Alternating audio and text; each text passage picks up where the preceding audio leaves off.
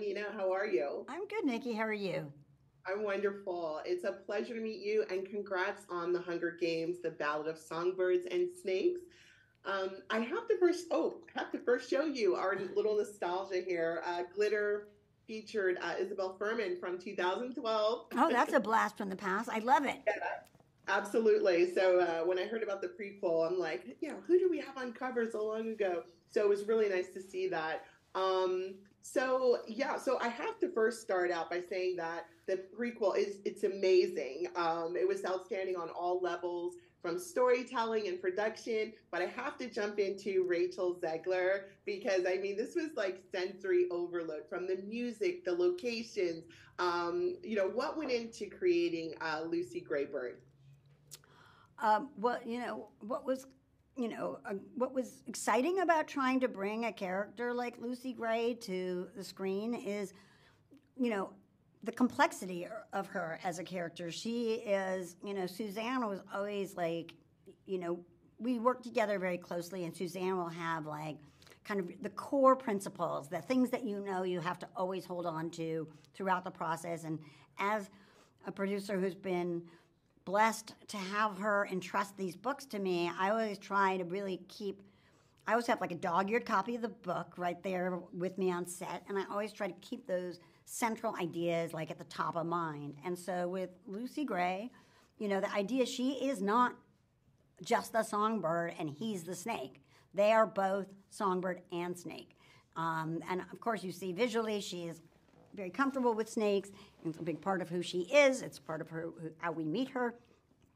Um, and so we needed on, a, on you know a young actor could bring on the one hand that level of sophistication, the nuance, the subtlety.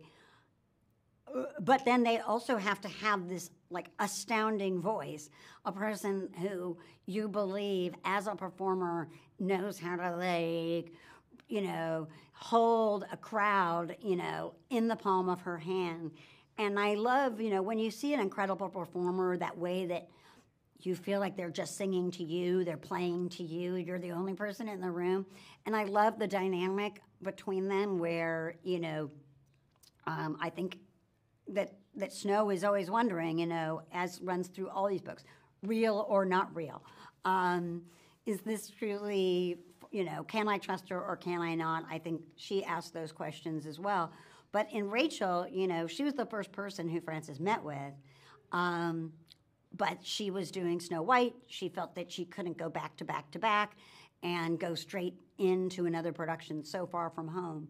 And so we had to imagine doing it without her. But then ultimately, after we cast Josh, we got a unexpected call back from her agent saying, "Is it too late? You've just cast her boyfriend.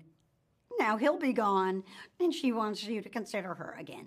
Um, so then we put her and Tom together, and again, the chemistry had to be there. We already had found Tom by that point.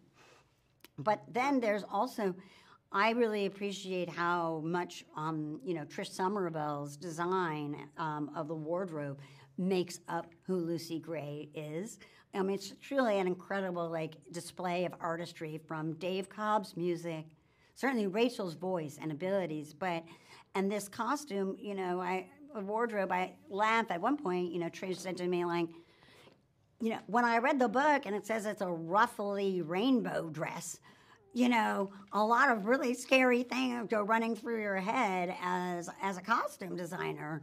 And so, this idea of this dress as being passed down from her mother, being emblematic of the covey, um, a dress that she chooses to wear to the reaping, which I also really love that in the sea of gray, she's chosen to wear this dress.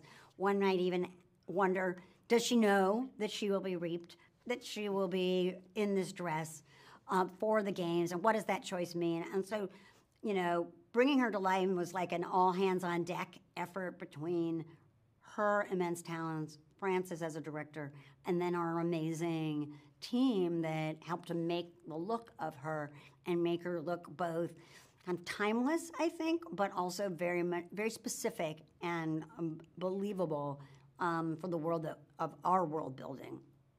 Absolutely. And everything that you just uh, discussed, um, one of my favorite scenes, I won't give it away, but you'll know um, District 12, you know, the, the, the music, everything, the vibration. I mean, you, you can't help it, like want to tap your foot. Um, and just one more question. Uh, what's it been like collaborating with uh, Francis Lawrence? Well, you know, it's been a true joy. I mean, we had an incredible time making the other movies together. The you know from Catching Fire on, um, and, and and he is an incredible partner. He is a remarkable as a as a director.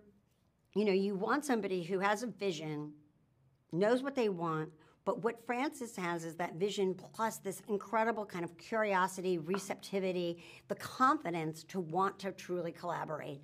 And whether that's in his collaboration with Suzanne or myself, with his department heads, um, the way that uh, it, it takes a very confident person to actually be receptive and open and still know what you want, but to be able to make the most of the people's talents around you.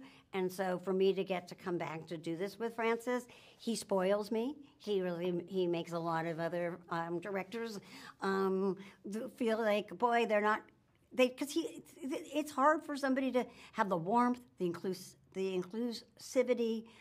Like say, and you can have people who you like a lot, but the partnership is um, rarely as robust as it is with him. Yeah, I love uh, in a lot of your other interviews just how you speak it, speak of him and how inclusive he is. So uh, wonderful, Nita. Thank you so much, and oh. looking forward to chatting again soon. Thank you. I'm really glad you liked it.